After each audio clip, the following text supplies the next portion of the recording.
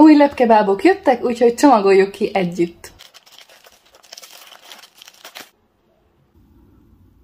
Két papillió palinurus, belőlük lesz a smaragdlepke, de ők ugye pillangók, hiszen papillió.